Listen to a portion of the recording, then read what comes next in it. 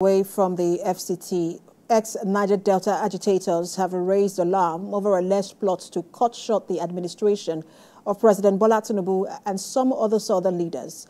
The group made the claim when they met in Port Harcourt to review the political future and development of the region. Correspondent Uche Okoro reports.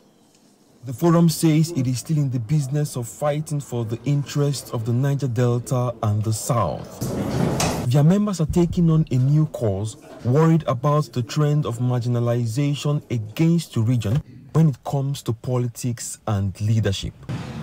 According to them, the administration of President Bola Tinubu has triggered another round of the usual opposition whenever a southerner is in power. With barely a year into the administration of His Excellency President Bola Tinubu, we are witnessing a variant agitation from some northern groups calling for his removal. This pattern of undermining southern leadership is not only unjust, but also deeply destabilizing.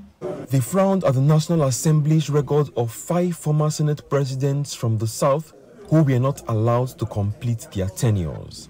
The ex-agitators insist that they will not allow history to repeat itself with Senator Godswill Akpabio. We had a lot of people from you know, the north, which gained a lot of support from us.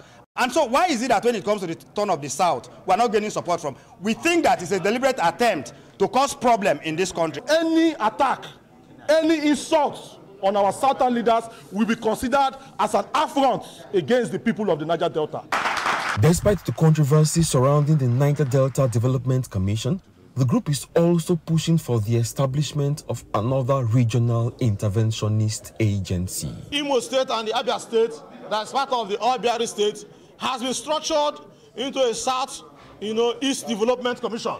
Uh-huh. And Ondo, which is also part of the Obiari State, has been structured into the Southwest Development Commission.